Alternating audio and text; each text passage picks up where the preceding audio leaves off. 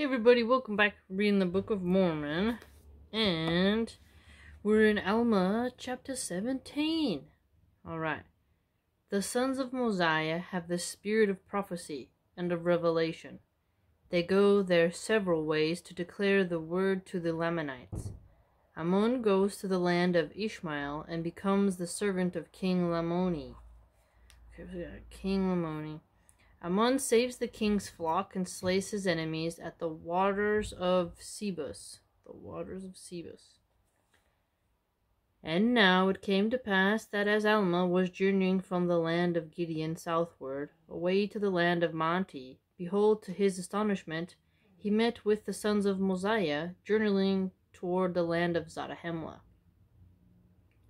Now these sons of Mosiah were with Alma at the time the angel first appeared unto him.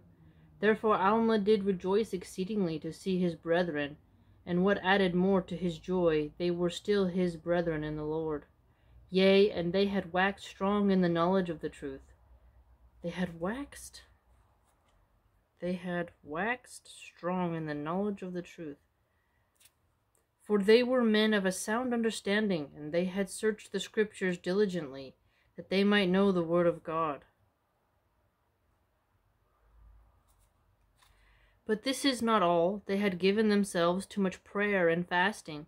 Therefore they had the spirit of prophecy. So you get the spirit of prophecy via praying a lot and fasting. Okay, and the spirit of revelation, and then they taught, they taught with power and authority of God. That was a little bit of a word sandwich there. Let's just repeat that. And the spirit of revelation, and when they taught, they taught with the power and authority of God. Okay. And they had been teaching the word of God for the space of fourteen years among the Lamanites, having had much success, in bringing many to the knowledge of the truth. Yea, by the power of their words many were brought before the altar of God, to call on his name and confess their sins before him. Now these are the circumstances which attend them in their journeyings, for they had many afflictions. They did suffer much both in body and in mind, such as hunger, thirst, and fatigue, and also much labor in the spirit. Now these were their journeyings, having taken leave of their father Mosiah in the first year of the judges, having refused the kingdom which their father was desirous to confer upon them. And also this was the minds of the people. Nevertheless they departed out of the land of Zarahemla and took their swords and their spears and their bows and their arrows and their slings, and this they did that they might provide food for themselves while in the wilderness. Well, that's smart. And thus they departed into the wilderness with their numbers, which they had selected to go up to the land of Nephi, to preach the word of God unto the Lamanites. And it came to pass that they journeyed many days in the wilderness, and they fasted much and prayed much that the Lord would grant unto them a portion of the Spirit to go with them, and abide with them, that they might be an instrument in the hands of God to bring, if it were possible, their brethren, the Lamanites, to the knowledge of truth, to the knowledge of the baseness of traditions of their fathers, which were not correct. Notice how it's like the base, the knowledge of baseness of the traditions of their fathers, which were not correct. And it came to pass that the Lord did visit them with his Spirit, and said unto them, Be comforted. And they were comforted. And the Lord said unto them also, Go forth among the Lamanites, thy brethren, and establish my word. Yet ye shall be patient in long suffering and afflictions that ye may show forth good examples unto them in me. And I will make an instrument of thee in my hands unto the salvation of many souls. And it came to pass that the hearts of the sons of Mosiah, and also those who were with them, took courage to go forth unto the Lamanites, to declare unto them the word of God. And it came to pass that when they had arrived in the borders of the land of the Lamanites, that they separated themselves and departed one from another, trusting in the Lord that they should meet again at the close of their harvest. For they supposed that the great was taken the work which they had undertaken. And assuredly it was great, for they had undertaken to preach the word of God to a wild and hardened and a ferocious people, a people who delighted in murdering the Nephites, and robbing and plundering them, and their hearts were set upon riches, or upon gold and silver, and precious stones. Yet they sought to obtain these things by murdering and plundering, that they might not labor for them with their own hands, not like a bunch of pirates.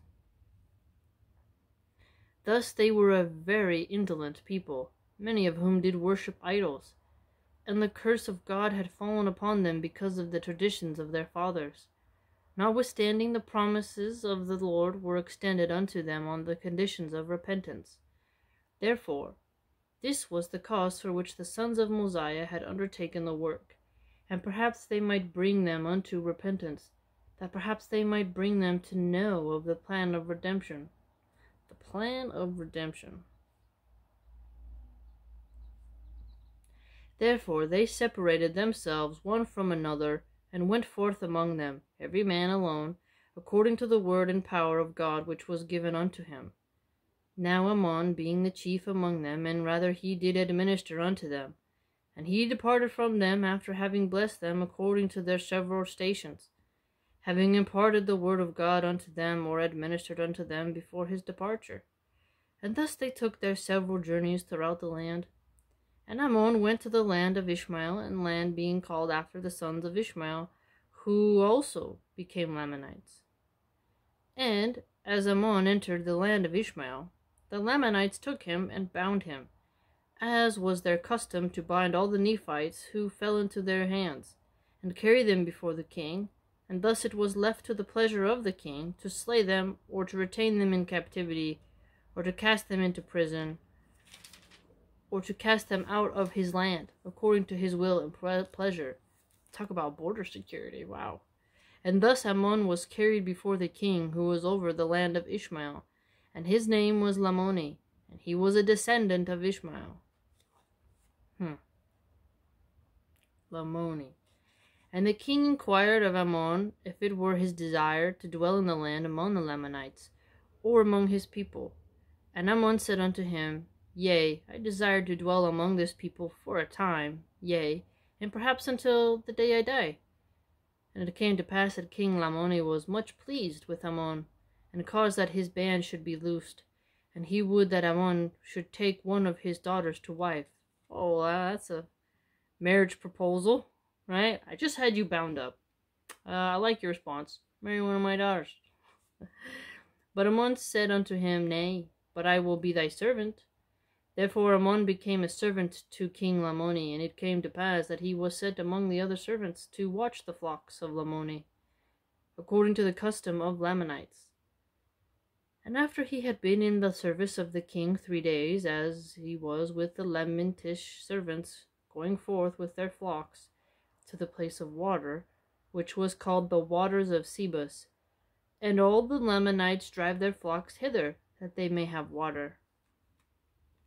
Therefore, as Ammon and the servants of the king were driving forth their flocks to this place of water, behold, a certain number of the Lamanites, who had been with their flocks to water, stood and scattered the flocks of Ammon and they servants of the king. And they scattered them insomuch that they fled many ways. Oh snap! They went to they scared off all the sheep. Now the servants of the king began to murmur, saying, Now the king will slay us as he has our brethren, because their flocks were scattered by the wickedness of these men. And they began to weep exceedingly, saying, Behold, our flocks are scattered already. Now they wept because of the fear of being slain.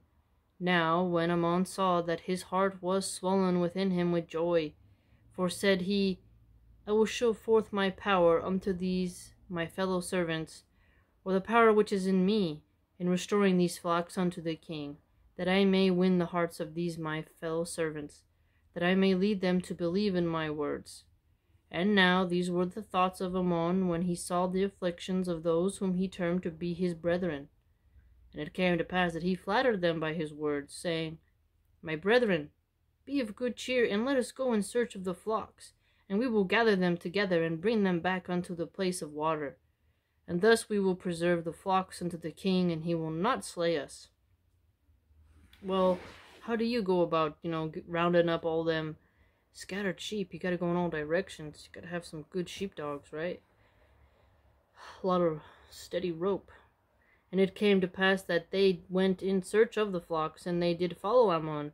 And they rushed forth with much swiftness, and did head the flocks of the king, and did gather them together again to the place of water. Oh, they headed them, so they went in front of them, and like maybe took their their staff or whatever, and like edged them off. Okay. And those men again stood scattered their flocks. Oh no, what? They did it again? But Ammon said unto his brethren, Encircle the flocks round about that they flee not. Oh, surround them. And I go and I contend with these men who do scatter our flocks. To go and contend with people who scatter the flocks.